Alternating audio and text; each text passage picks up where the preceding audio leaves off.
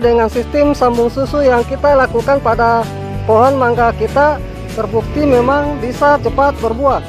Ini contoh saya akan perlihatkan dari pohon mangga saya yang sekarang sudah mengeluarkan bunga seperti ini. Walaupun di sini bisa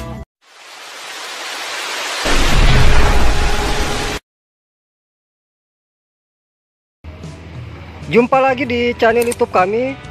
Pada video kali ini saya akan memperlihatkan kepada para sahabat pencinta tanaman buah semua di mana yang akan saya perlihatkan nantinya di sini adalah hasil sambung susu yang saya lakukan pada pohon mangga saya.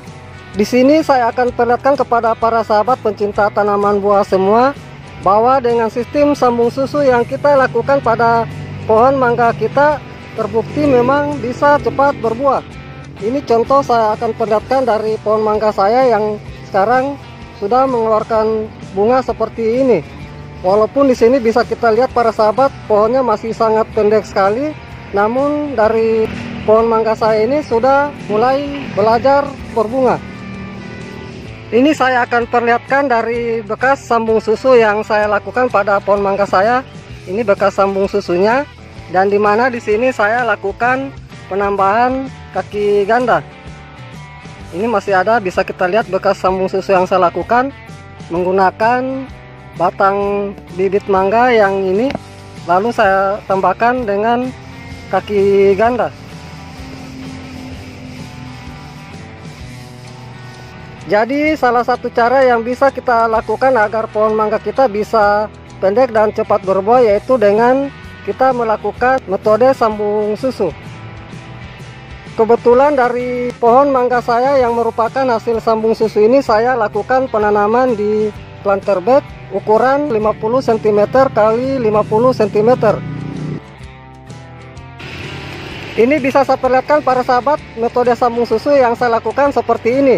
Jadi bagi para sahabat yang ingin melakukan penyambungan dengan metode sambung susu silahkan lihat pada video saya sebelumnya karena pada video saya sebelumnya saya sudah memperlihatkan caranya.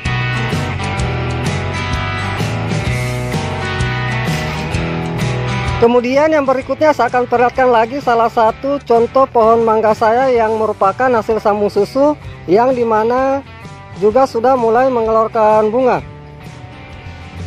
Ini lagi satu dari pohon mangga saya yang di mana juga ini merupakan hasil sambung susu dan bisa kita lihat para sahabat dari pohon mangga saya di sini sudah juga mulai mengeluarkan bunga. Ini calon-calon bunga yang akan keluar.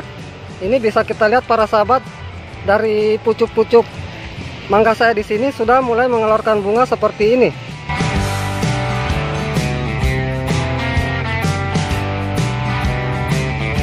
Dan di mana di sini dari hasil sambung susu yang saya lakukan pada pohon mangga saya di sini, saya lakukan lagi kombinasi dari beberapa jenis varietas mangga. Jadi di sini dalam satu pohon mangga saya di sini terdapat tiga jenis varietas, yaitu ini cokanan, okyong dan arum manis. Dan bisa kita lihat para sahabat di sini hasil sambung susu yang saya lakukan itu ini dari bekas sambung susu yang saya lakukan kemudian saya lakukan penambahan kaki ganda. Kebetulan juga ini saya lakukan penanaman di planter bag ukuran 50 cm kali 50 cm baik para sahabat pencinta tanaman buah semua demikian apa yang sudah saya perlihatkan dari hasil sambung susu saya yang saya lakukan pada pohon mangga saya yang di mana sudah mulai mengeluarkan bunga. Semoga dengan apa yang sudah saya perlihatkan ini bisa menjadi motivasi buat para sahabat untuk melakukan penyambungan pada pohon mangganya agar bisa cepat berbuah. Semoga dengan apa yang sudah saya perlihatkan ini bisa bermanfaat. Salam sukses selalu. Salam pencinta tanaman buah